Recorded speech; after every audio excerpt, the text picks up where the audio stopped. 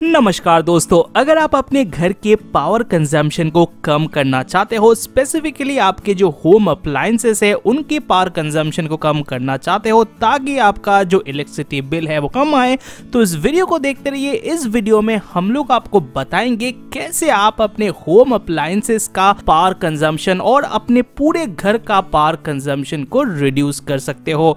तो इस वीडियो को पूरा ज़रूर देखिएगा। तो वीडियो करते हैं शुरू और शुरू करने से पहले, अगर आपको प्रोडक्ट्स के ऊपर बेस्ट डील्स ऑफर्स और डिस्काउंट्स चाहिए तो आप हमारे फ्री टेलीग्राम चैनल को ज्वाइन कर सकते हो, जिसका की लिंक डिस्क्रिप्शन बॉक्स में दिया गया है। तो इन डील्स के द्वारा शॉपिंग करते वक्त आप पैसा जो है बचा सकते हो। तो शुरू करते हैं तो सबसे पहले हम लोग बताएँगे जो मेजर अप्लायंसेस है, जैसे refrigerator washing machine air conditioner और अलग अलग इलेक्ट्रॉनिक्स और इलेक्ट्रिकल अप्लायंसेस का जो पार कंजम्पशन है, वो कैसे आप घटा सकते हो।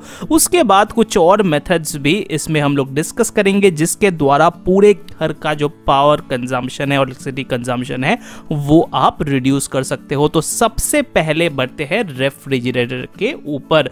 तो रेफ्रिजरेटर में क्या क्या चीज़ आपको फॉलो करना है? पहले तो आपके रेफ्रिजरेटर को आपके कुकर स्टोव या ओवन के पास नहीं रखना है। और कोई भी प्लेस जहाँ पे डायरेक्ट सनलाइट आ रहा है, वहाँ पे आपको अपने फ्रिज को नहीं रखना है। आपको ये भी इंश्योर करना है कि आपके फ्रिज के ऊपर, नीचे और चारों ओर सफिशियंट स्पेस है जहाँ पे एयर सर्कुलेशन हो सके। जो फ्रिज का जो डोर गैसकेट्स होते हैं, वो भी प्रॉपर कंडीशन में होने चाहिए, ताकि जब भी आप दरवाज़ा बंद करें तो वो प्रॉपरली बंद हो और पूरा जो कूल एयर है, वो अंदर रह सके।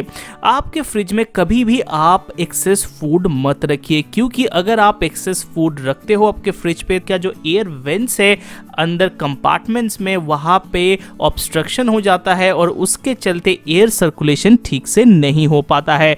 इसके चलते कंप्रेसर को ज़्यादा काम करना पड़ता है यूनिफॉर्म टेम्परेचर मेंटेन करने के लिए, जो कि आपकी पावर कंजम्पशन को काफ़ी हद तक बढ़ा देता है। मेंटेनेंस फ्रिज का करना बहुत ही ज़रूरी है स्पेशली जो बैक कॉयल्स है, उसको आपको पीरियोडिक फ्रीक्वेंसी में चेकिंग कराना चाहिए। क्योंकि इन कॉयल्स के ऊपर जो होता है डस्ट एक्यूमुलेशन हो जाता है और इससे जो कन्वेक्शन प्रोसेस है, जिससे कूलिंग होता है, वो प्रॉपरली नहीं हो पाता है और इसके चलते कंप्रेसर को ज़्यादा काम करना पड़ता है और उसी के चलते एनर्जी कंजम्पशन और पावर कंजम्पशन जो है, ज़्यादा बढ़ जाता है। अगले बात करते हैं वॉशिंग मशीन में आपको क्या क्या चीज़ें ध्यान में रखना है अपने जो बिजली का बिल को कंट्रोल करने के लिए। तो जब भी आप वॉशिंग मशीन को चला रहे हो, आप फुल लोड में चलाइए, क्योंकि आप अगर हाफ़ लोड में चलाते हो तो आपको मल्टीपल टाइम्स जो है वॉशिंग मशीन को चलाना पड़ता है और उस केस में जो इलेक्ट्रिसिटी कंजम्पशन है, वो काफ़ी ज़्यादा हो जाता है।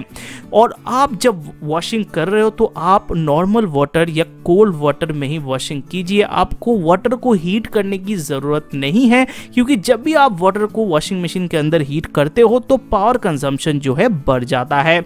और आपके वॉशिंग मशीन को कभी भी स्टैंड बाई मोड में मत रखिए। हर समय आप उसको स्विच ऑफ़ करके रखिए प्लग पॉइंट से ताकि आप ज़्यादा से ज़्यादा इलेक्ट्रिसिटी बचा सके। अगले बात करेंगे एसी के बारे में। तो एसी का जो टेम्परेचर है वो 23 से 25 डिग्री सेंटीग्रेड तक ही रखे। ज़्यादा अगर आप कम करते हो तो वही कंप्रेसर को ज़्यादा काम करना पड़ता है। अगर आपको ज़्यादा गर्मी लग रहा है तो आप थोड़ी देर के लिए बैठ जाइए और अपना जो सीलिंग फ़ैन है, उसको भी आप यूज़ में रख सकते हो। जैसे ही आपका घर ठंडा हो जाता है, उस टाइम में जो है, आपको नॉर्मल टेम्परेचर जो 23 टू 25 वो सही लगने लगेगा। जो विंडोज़ और डोर्स का जो एजेस है, उसको प्रॉपरली आपको सील करना चाहिए, ताकि एयर लीकेजेस ना हो। एयर लीकेजेस के कारण क्या होता है, जो एसी का हवा है, वो बाहर चला जाता है और आपके रूम में प्रॉपर कूलिंग नहीं होता है। और जब भी आप रूम से बाहर निकलते हो या आते हो, आप डोर को ज़्यादातर खुला मत छोड़ो, क्योंकि जब भी आप डोर को खुला छोड़ते हो, जो है वार्म एयर जो है अंदर आ जाता है और एम्बियंट टेम्परेचर को बढ़ा देता है और इसके चलते एसी को ज़्यादा काम करना पड़ता है। तो आपके विंडोज़ से अगर सनलाइट आ रहा है तो आप सनलाइट को ब्लॉक करके रखिए, क्योंकि अगर सनलाइट आ रहा है तो नॉर्मली जो है आपके रूम के टेम्परेचर इंक्रीज रिलीज़ कर देता है तो कर्टेन यूज़ कीजिए या फिर कोई भी तरह से सनलाइट जो है रोक के रखिए, जो एसी के एयर फिल्टर्स है, वो बहुत ही इंपॉर्टेंट होता है और वो प्रिवेंट करता है डस्ट एक्यूमुलेशन से और एसी को स्मूथली रन कराने में भी मदद करता है। तो एसी का जो फिल्टर्स है, उसको आपको मेंटेनेंस करना बहुत ज़रूरी है, क्योंकि अगर वो डर्टी हो जाता है एसी को ज़्यादा काम करना पड़ेगा और इसके चलते उसका कंप्रेसर ज़्यादा रन करेगा और आपका पावर कंजम्पशन भी ज़्यादा होगा। आगे बात करते हैं कुछ और इलेक्ट्रॉनिक और इलेक्ट्रिकल इक्विपमेंट्स के बारे में। तो यहाँ पे बात करिएगा टीवीज और लैपटॉप्स को आप ऑफ़ करके रखिए जब भी आप उसे यूज़ ना कर रहे हैं। तो कोई भी इलेक्ट्रॉनिक गैजेट्स को आप स्टैंड बाई मोड में मत रखिए, क्योंकि स्टैंड बाई मोड में रखने से वो ज़्यादा पावर कंज्यूम करता है। एक और चीज़ बहुत ही इंपॉर्टेंट है, हम लोग ज़्यादा ध्यान नहीं देते। अगर आपके घर में वाटर पंप है तो आप ज़रूर एक वाटर मीटर अलार्म इंस्टॉल कीजिए आपकी वाटर टैंक के ऊपर। तो बहुत बार क्या होता है, हम लोग जो है वाटर पंप को चला के रखते हैं। जब भी हमको पता चलता है कि वाटर एक्सेसिव फ्लो होते जा रहा है, तब हम लोग जाके वाटर पंप को बंद करते हैं। ऐसे में जो वाटर पंप लाने का जो पावर कंजम्पशन है, वो ज़्यादा हो जाता है। तो अगर आप वाटर मीटर अलार्म लगा के रखते हो तो जैसे ही आपका टैंक जो है फुल हो जाता है, वो आपको नोटिफाई कर देता है और उसी टाइम में आप वाटर टैंक को जो है बंद कर सकते हो और इससे आपका इलेक्ट्रिसिटी कंजम्पशन और पावर कंजम्पशन बहुत ही हद तक कम हो जाता है। आगे बात करते हैं कुछ और मेथड्स आपको नेचुरल लाइट ज़्यादा यूज़ करना चाहिए और कोई भी लाइट्स को जो है, वो स्विच ऑफ़ कर देना है अगर आप उसका इस्तेमाल नहीं कर रहे हो। तो दिन के दौरान आप जितना ज़्यादा हो सके नेचुरल लाइट को यूज़ कीजिए, अपने रूम की लाइट्स को बंद करके रखिए जब आप यूज़ नहीं कर रहे हो। तो अगर आप रात में काम कर रहे हो, आप वही लाइट जलाइए जो आप यूज़ कर रहे हो कोई भी पर्टिकुलर टास्क करने के लिए। सपोज़ आप कोई भी चीज़ पढ़ रहे हो और आपके पास एक टेबल लैंप है तो बिना घर का जो लाइट है, जो बहुत ज़्यादा पावर कंज्यूम करता है, वो जलाने से बेहतर आप एक टेबल लैंप को ही जलाए, जिसका पावर कंजम्पशन जो है काफ़ी कम होता है।